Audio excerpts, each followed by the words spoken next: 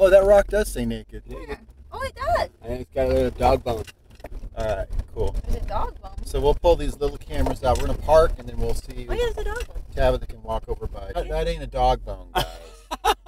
Oh, oh my gosh, it's not a dog That's- bone. trying to be nice. That's not a dog bone. I on was trying to be nice. It looks like a dog bone.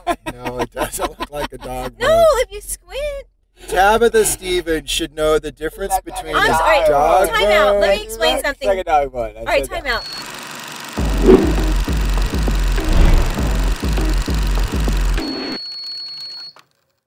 We shot in June of this particular year, and it was an extraordinarily hot year. Most of the locations were in the Mojave Desert near Las Vegas, and we had a few days that were pushing 120 degrees, one of which was especially miserable. Do you remember that one? Oh, I remember it so much that I think somebody else was more miserable than I was.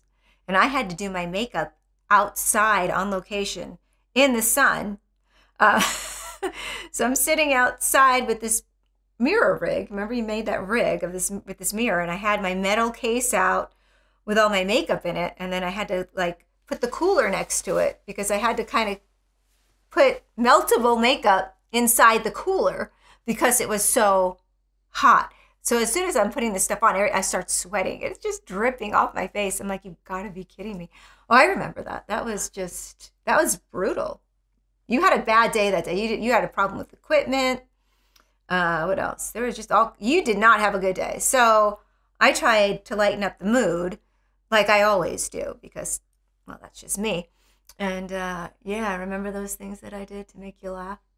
We shot exposure over a period of about a week, and it was the most Oh, miserable. that's right. I thought it was was it two weeks? It Was it a week? It was Oh, a damn. week, and it was well a long week, and it was miserable because of the heat. And we were going to different locations all the time, and we did a few things with um, water, which she liked a lot. So what Tabitha was referring to was there was a dry lake out in the Devil's Playground that we shot at, and it was really crazy, crazy hot. Well, the next day after that, we went up into this like rocky wilderness area, and in this one she had pigtails in her hair was up and she was wearing these giant uh like platform heels remember with the Yes.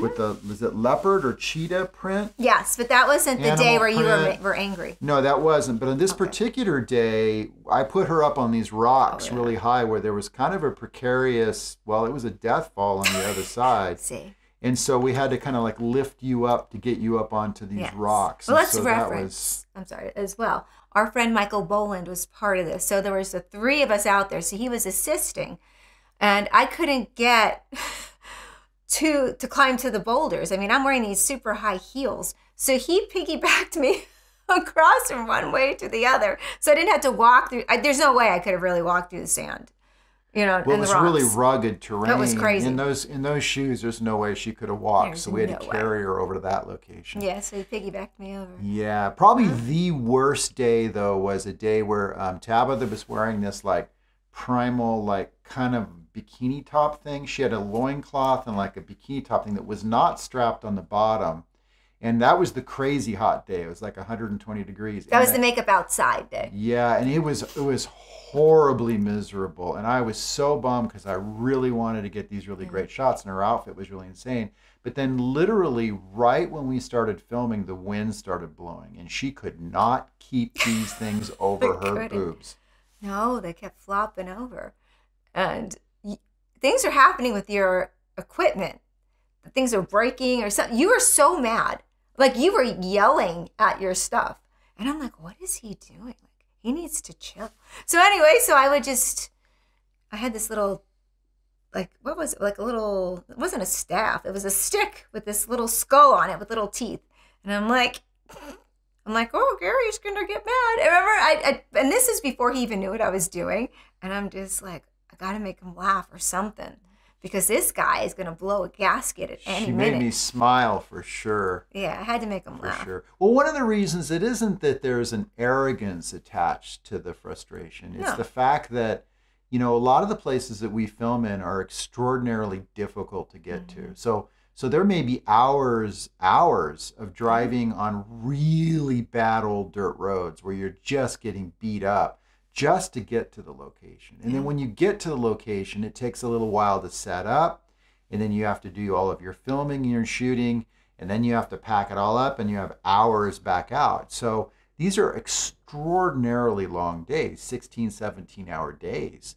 And so when you you go to such lengths, to such trouble to try to get these images that you see in your head and nature and the the, the natural, the universe is just making it so difficult for you and and it just becomes aggravating as can be and you know you would think that over the years of doing this so much that you would mm. get used to it but i don't know i guess maybe that's part of being an artist is is that once you have that image in your head you'll just you're hell bent on making sure you make it happen But then you have to look at the other side of things with the model, okay? Because a lot of people don't understand.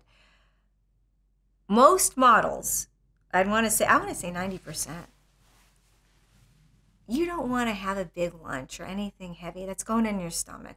You know what I'm saying? Because, first of all, with the heat, you want to look good, especially if you're naked or, or half clothed, bikinis, whatever it is you're, you're wearing or not wearing. You want to look good. And we all know you eat something that maybe has an onion in it, something off, you're going to get bloated and gassy. You don't want to be bloated and gassy for your shoots. What? It's true. I mean, why would I would yeah, let's have a bean burrito before we shoot. Sure. No, it's not going to happen. So, you know, you, you think about now, I didn't have a makeup artist. I was my own hair and makeup artist for these shoots. So you got to think, I, I have to check my hair, I got to check my makeup. I want to make sure the wardrobes are, I was my wardrobe person as well make sure everything's on me properly. Uh, you know, you don't want to be bloated, so you're not eating as much as you normally eat. And I can eat a lot. Yes, I am thin, but I eat a lot.